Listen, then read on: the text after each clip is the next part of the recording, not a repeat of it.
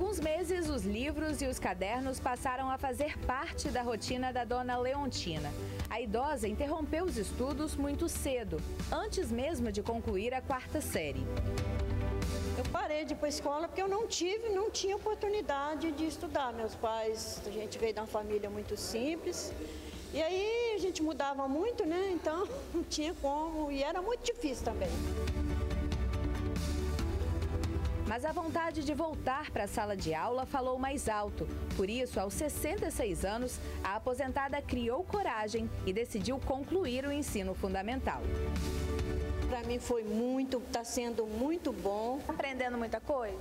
Graças a Deus. Estou aprendendo a ser mais, né, ter mais assim paciência e foi muito bom para minha saúde, para minha cabeça e os professores são muito bons. E a idosa foi inspiração para a Simone, que aos 40 anos também voltou para a escola. A vendedora contou que abandonou os estudos cedo para cuidar primeiro dos irmãos mais novos, depois das três filhas. Eu tentei voltar ao supletivo, mas não consegui porque eu já tinha as minhas filhas.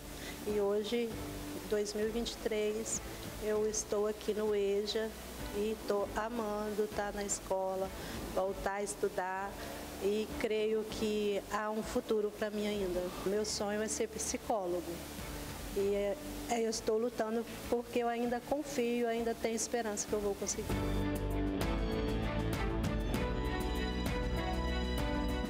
Modalidade de educação para jovens e adultos de Vitória, popularmente conhecida como EJA, além de trazer os alunos de volta para a sala de aula, possibilita o desenvolvimento e o preparo deles para o mundo do trabalho.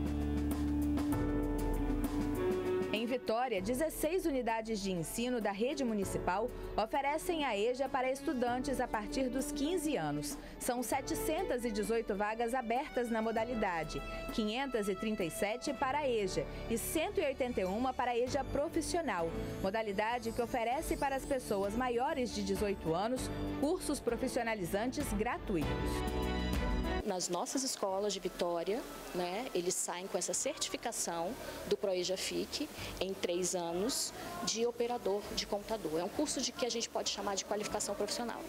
E para além desse curso, a gente tem parcerias né, com institutos é, tecnológicos como o IFES, por exemplo, como o SENAC, que é, tem oferta de outros cursos variados de qualificação profissional. De acordo com o IBGE, em 2022, 40,7% dos capixabas com idade entre 15 e 29 anos estavam ocupados e não estudavam. Ainda segundo o Instituto, no estado a taxa de analfabetismo de pessoas com 15 anos ou mais foi de 4,7%. Já entre os capixabas de 60 anos ou mais, o índice atingiu 15,7%.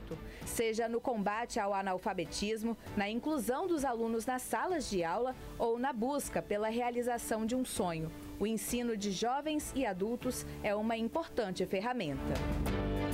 A gente fala que a EJA ela é uma reparação, né? ela é uma garantia de direitos que às vezes a pessoa é, não teve oportunidade na infância ou no período considerado regular né, para frequentar a escola. Então a gente fala que ela é uma espécie de reparação de direitos, de garantia de reparação de direitos. Né? A dona Leontina é prova de que nunca é tarde para recomeçar, para aprender e deixa um recado aos mais jovens. Principalmente que a gente que está aí ó, de bobeira em casa, não é perder tempo não. Porque se a gente está tendo essa oportunidade, não deve perder tempo. Porque, principalmente para os jovens, que é uma oportunidade de sair daqui já até com emprego na mão.